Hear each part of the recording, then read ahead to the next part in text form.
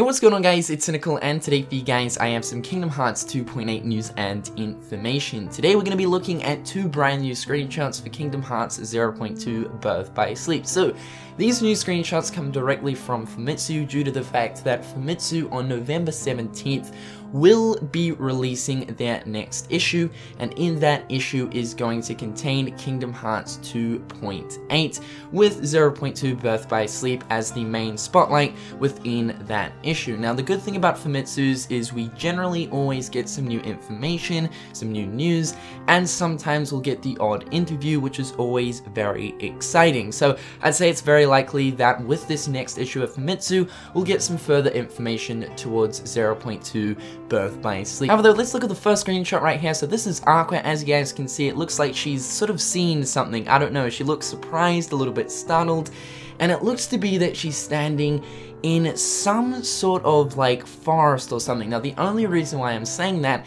is behind her we can see some sort of dead trees. It's kind of hard to make out exactly what these different things in the environment exactly are, but to me personally those look like dead trees.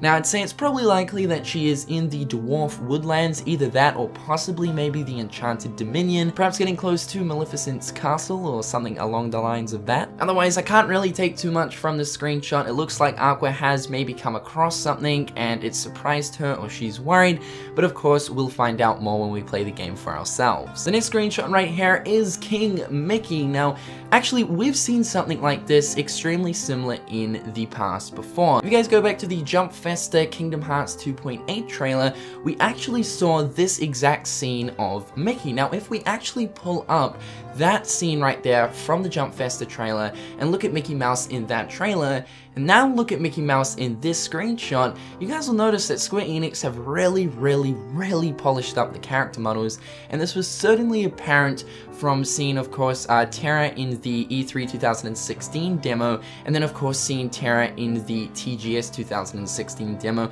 It's very, very apparent that Square Enix are still to this day fine-tuning and polishing up the character models, and I think that's absolutely fantastic because going back to all of the trailers that we're seeing for 2.8, I would say before the TGS trailer, um, a lot of people were complaining about how the character models look very sort of play-doh-y and plasticky, and even though these character models within the next generation of Kingdom Hearts kind of have that feeling, they are looking a lot better, and just from looking at Mickey Mouse here and comparing him to what he was looking like in the Jump Festa trailer, it's very clear that Square Enix are still hard at work. The one thing I instantly noticed was the change with Mickey's eyes. I think he looks a lot better in the updated screenshot than he does in the Jump Festa trailer.